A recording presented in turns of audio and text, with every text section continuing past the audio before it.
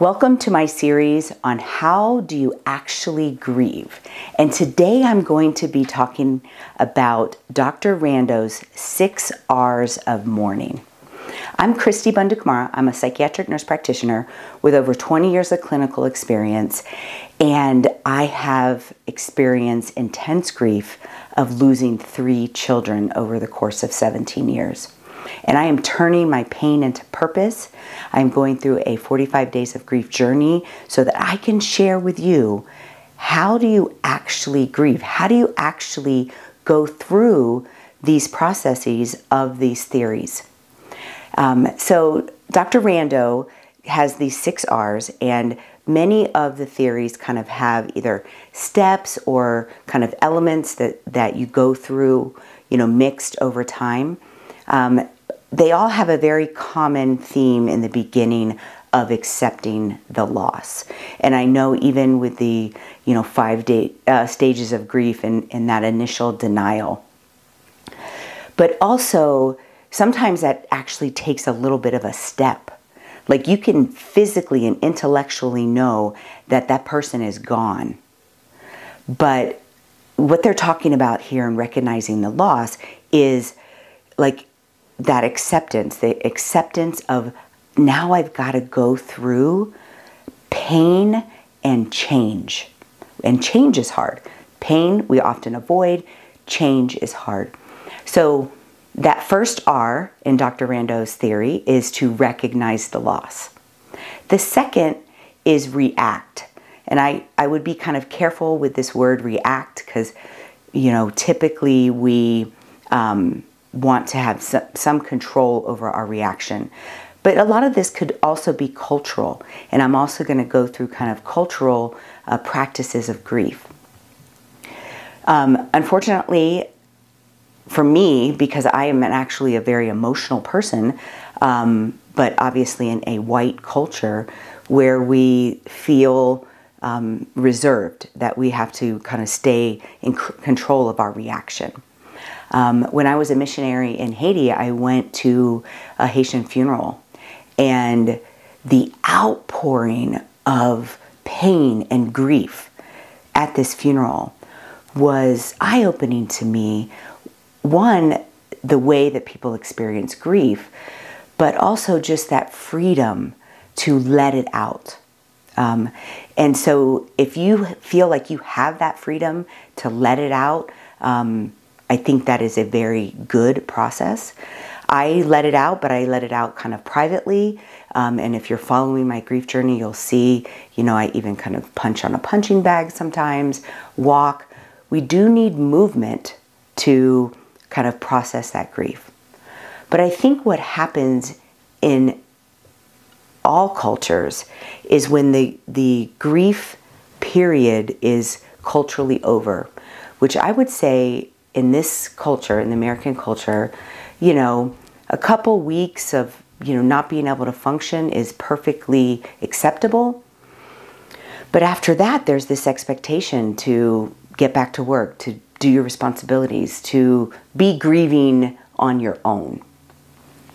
And then, even um, from the DSM criteria, you know, grief is supposed to not be impacting your life after one year.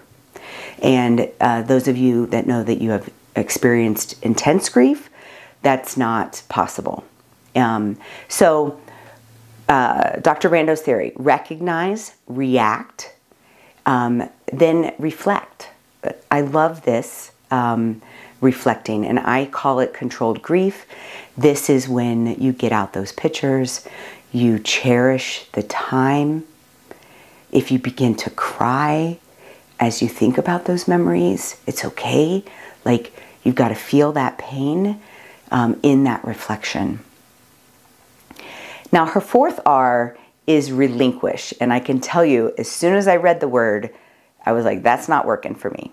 Okay, so remember, if you're going through this process um, and you are and you read something and it actually triggers you, evaluate why it's triggering you. And for me, the word relinquish means to let go um, and move on. And I will never be the same. I obviously love my children dearly and will not see them this side of heaven. And so to use the word relinquish um, just didn't sit right with me. But there is there is truth to this, and we we even if it, a word triggers you, try to dig deeper. Like, what are you supposed to do with that word? What are you supposed to do with your feeling of that word? Because our our initial response is, "Oh heck no, I'm holding on to this." And I do believe that you need to hold on to it, and you need to uh, reflect, process, and, and I say cherish. Um, and so I think she was, you know, trying to use obviously all our words, um, but, you know, kind of relinquishing some of that pain and, you know, letting go of some of that pain. And that you have to do by processing.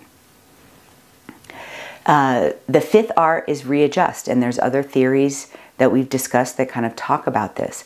But this is, uh, you know, when the intensity of that grief begins to decrease, then you start readjusting to your life. Um, and the only way you can decrease that intensity is by feeling that pain. And so, again, back to, you know, my theory of this controlled grief, like you have to actually take the time to um, grieve and feel that pain.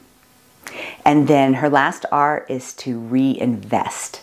And I actually love uh, this R word um, because that is a conscious choice. And I, and I know there's many uh, people who have lost children that follow me, and the, the pain is so bad, we get into maybe even clinical depression. And you don't want to reinvest in this life. Um, and you know, and, and and this is why I go back to the mentally strong method of separating things. The spiritual conflict, like if I truly believe that my children are happy and content in heaven, why wouldn't I just want to be there with them? And I know there's some of you that that think about suicide. That's not an option. Please, that is that is a choice. And that's why when we're going through this grieving process, we've got to put things in the right category. Because it can all get meshed up with the pain. I love her last R word reinvest. After you adjust to life without this person, you, you actually take the time to reinvest in your next chapters of your life. They're different. Change is hard. But the choice to reinvest is yours. So, uh, review of Dr. Rando's theory recognize your loss, react, reflect, that goes along with um, my theories of controlled grief relinquish some of that pain. Okay? Um, so I'm going to kind of change this. It's like relinquish some of that pain so that you can readjust and reinvest. The best word in her uh, six R's is reinvest. Figure out how to invest in your your next chapters of your life. I believe that you are mentally strong.